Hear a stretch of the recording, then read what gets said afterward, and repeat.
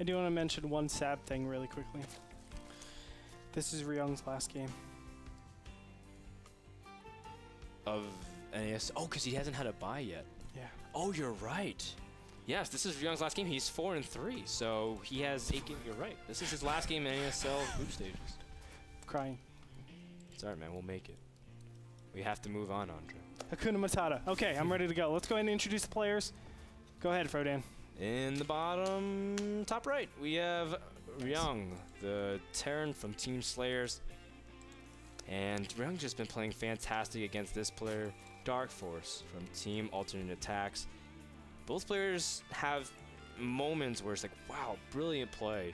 And just sometimes uh, not able to really capitalize on their opponent's mistakes. And you can see Ryung was had moments of vulnerability, but in the end, played just rock solid Terran Reserve. Like it wasn't, he was just immovable, never overextended, and he didn't have to really drop everywhere and really uh, drag Zerg's attention uh, every which way. Instead, he just played uh, tempo-based TVZ, so it was very impressive to watch.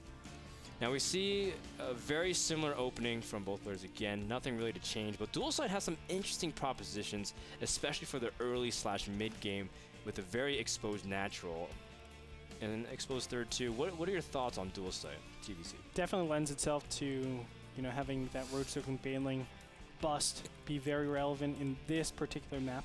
It's part of the metagame more so than other maps, so I think Ryung has to kind of be wary about that. Oh man, I love this. Frodan, I love this. The early gas, no matter what, if you don't use it or you do use it, I think you should always make this gas on maps where Road Circling Baneling is in the metagame. Because it basically Hmm. says, hey, be careful, because I'm really capable of doing something really early. Yeah, right now Dark Force is pointing at the SCV with half a closed eye and say, you better watch yourself. Shake, uh, not, never mind. Where are you going to go with that? I want to know. It was a, But you, you can see that Ryung is... I'll tell you uh, off cast, bro. Alright, okay. It was a song, man. Watch Ah. yourself. Shake yo. Show me what you're working with. No? you know what I'm I talking don't know, about? man. That was. I don't know that, that kind of I'll- music you I'll- listen I'll to, YouTube Andre. you, yeah.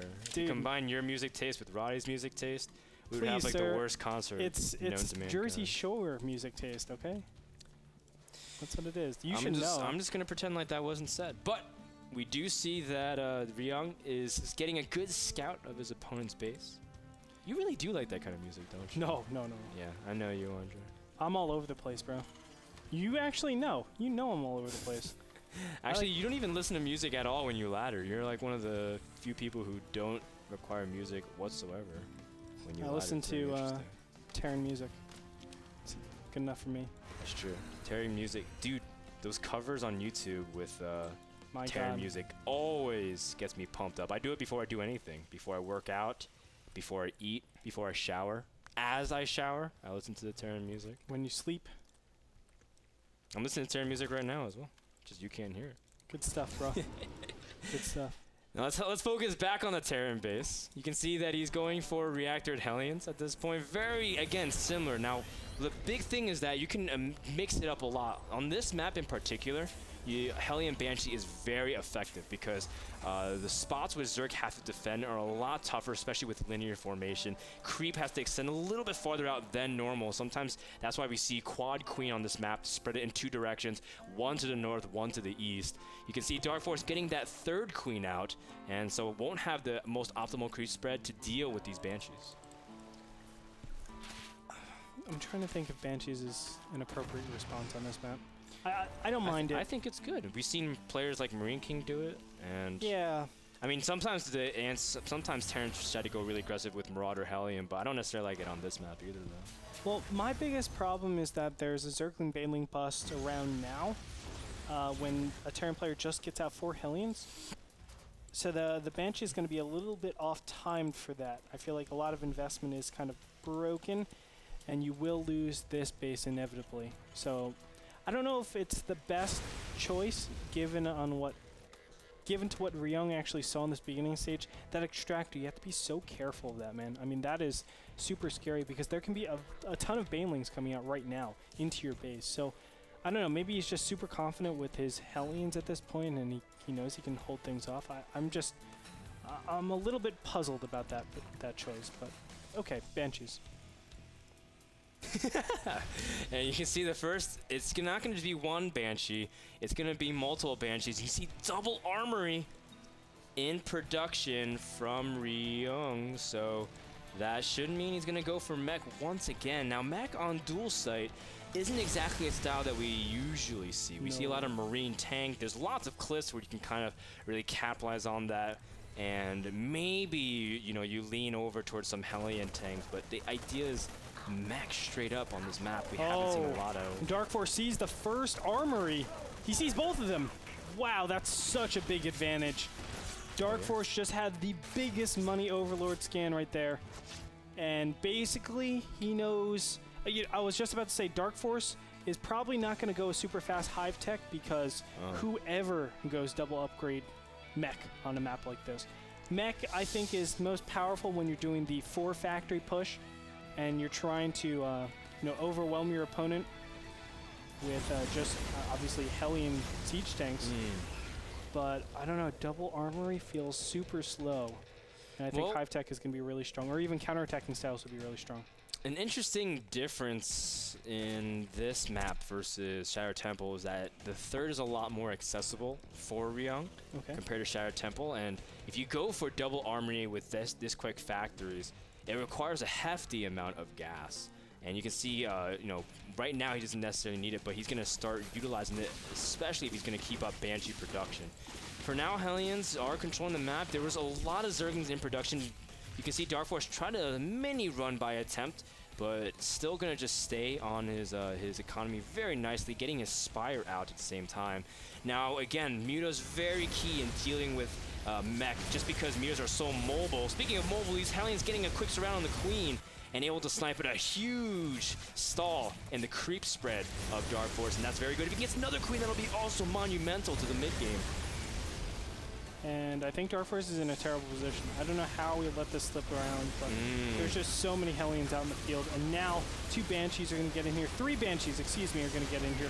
Look at that, cleaning up every single unit. The Zerglings are no more. And as it speaks, Queens are going to go toe-to-toe with Hellion Banshee. Not Looks bad. like they will force force it back. Unfortunate for, for Four Young, queens. of course. Wow, an expansion style. Okay, this is throwing me for a loop, man. I I don't. I don't even know what to. I, I don't have analytical insight for this build.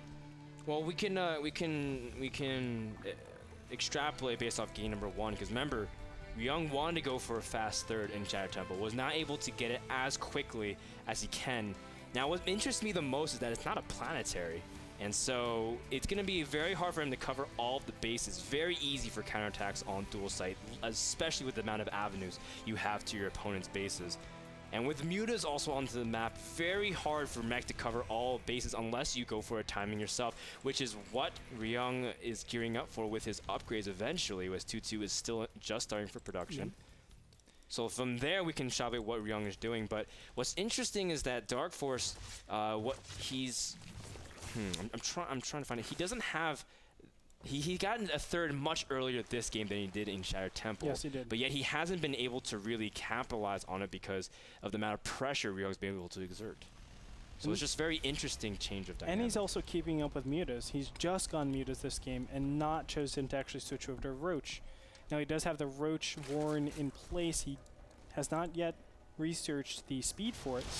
Uh, instead, just continues to go additional mutas. And let me tell you, 2-2 timings against mutas, beautiful. Pretty nasty. As you can see, these Thors are coming out in pairs. Ryung really getting in his Thor count early uh, before he tries to move out into siege tanks or anything. Third is also safely snuggled up in the top center of the map. There it is. Finally, roaches are on the field. So he is getting that Glial Reconstitution. Plus one flyer attack is also being upgraded, but a ton of roaches. This is correct, defending against this potential, you know, two base all in. I don't know if he knows about the third base really quickly. Yes, he does now. There it is. So you should go for the counterattack in this position.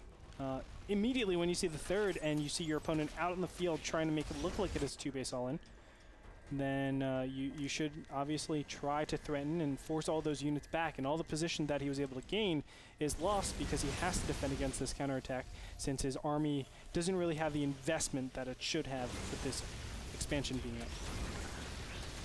And the big thing is that Dark Force is creep spread. He's been trying to keep on top of it, but again, those early Queen snipes, pretty valuable. As you can see, Dark Force hasn't really joined it so he can zone left or right that much. You can see immediately that Dark Force trying to see if he can get center of the map control, but the barracks reveals the position of the units, and Ryung feinting to go in. Will he actually try to draw out some of that army and engage on it? 2-2 is done, so his army is pretty resilient, and the only upgrades from uh, Dark Force is his plus one, plus one melee. This is a little bit of an awkward attack, though, from Ryung's, given his production is just now started up. And it looks like Dark Force has taken the supply lead. Here's the big Oh. attack coming from multiple sides. A ton of roaches, though, are not coming into the battle. And oh no, that could be a critical misstep from Dark Force, but it looks like he might be able to clean it up as it Mm, is. the big question is whether or not he's able to really deal with the Thors because the Banshees are going to be able to wail on him for a long time. The Queens are being pressured off of it, and the Thors are working. The SCVs are no longer there to repair, as, as a lot of them was dropping. And you can see the Banshees trying to work on the Queens, and this is a very tightly contested battle, but in the end, it looks like Ryung barely manages to eke out enough and uh, Dark Force's supply is dangerously low at this point as he needed to keep a force of roaches to really push back the mechanized army. And a couple more SCVs are left to repair the Banshees and get ready to work. Dark Force forced to remake his queens as well. His larva cycles have to reset. And that is going to be very tough for a Zerg player. Just think, if he had those roaches in the battle, that would have been a very easy attack for Dark Force. But unfortunately, he didn't, and uh, the battle easily went, not easily, but it went to um, Ryung in that time around. And it looks like this counter, not this counter, this follow-up push is looking to do a lot of damage. I don't think Dark Force actually has the means to defend against this. He should probably evacuate this bottom middle base. Uh, nope. Never mind. Well- His opponent is attacking. What's going to make it even tougher is Lings are going to be borderline useless at one point, especially with plus three, plus three going to finish, and Zerg not able to really keep up in the upgrades. And, I mean, Dark Force is still on 1-1. Or, sorry, he's plus two did finish. That's actually a big, big thing um, in terms of keeping up slightly in the upgrades. But he doesn't have a strong answer now that Terran is really starting to grow an intimidating force. You can see the fourth base from Dark Force under siege while uh, the fifth base has been scouted. So Dark Force has to cover a lot of area. He's instead going to go for a counterattack, which should be not that effective considering Ryung has a lot back at home. This counterattack doesn't really make a lot of sense. I mean, all it takes is one Thor, basically clean everything up. Hellions are pretty expendable, and they're all over the place. They can get there in time, so I'm kind of confused about that attack. But Hmm, as it it worked, is, though. apparently it worked. Uh, you know, I guess he was just thinking it could have been more, so he does back up from here. But a ton of Thors in the middle of the map, and the creep spread has been receded quite a bit. I mean, you can see the middle of the map really doesn't feature any creep spread. That's unfortunate. It gives um, you know, a lot of momentum and a lot of initiative over to the Terran player, who's going to use that to get his opponent out of position, and with that, obviously, he will get beautiful positioning. Yeah, and again, those keeping the pressure and forcing the queens to be pulled. Creep spread is not nearly as much as it should be because Dark Force was saving for transfuses and whatnot. And as a result, uh, those Banshees have been very effective in making sure that the mech army can't get easily surrounded. Now Dark Force is going to have to protect its expansions because again, if Terran's able to get these strong positions and continue to hunt down the bases, then really Dark Force can't do anything. He's trying to go from different angles, but great positioning out of Ryung, and he's really able to deny any kind of surround whatsoever. Look at how fast you're dropping, especially with 3-3.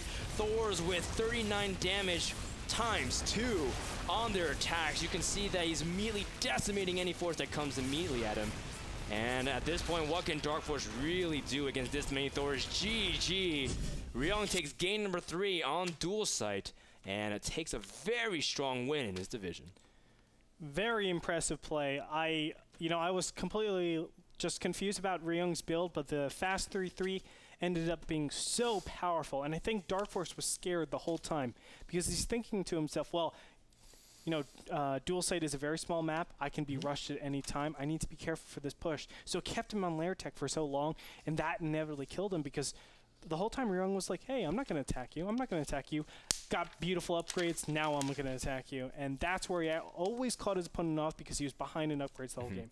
Yeah, and uh, that 2-2 timing was really strong initially because he didn't have the amount of roaches. And in that 3-3, I mean, what can you do when you're 2 1-2, but you're not even using Zerglings anymore to defend using roaches. The roaches just starting plus one. So roaches are zero one in that point. I mean, not looking Not- good. That's not the fair fight, fairest fight if I've ever seen one. Guys, that game and series was brought to you by iBuyPower, the PC company that can help you get your own pre-assembled computer. Just head on over to iBuyPower.com. Coming up next, we have a fantastic series: Noni versus Dimaga. Noni seeking his uh, his second win in NASL Season 3. Dimaga looking to move up in divisions accordingly. Uh, also coming up next, we have a special edition of Eyes on the Community with Mr. Bitter. So we have lots of more action. We're only halfway through the day. More action from Division 2, Week 8 NASL Season 3 is coming up right after this.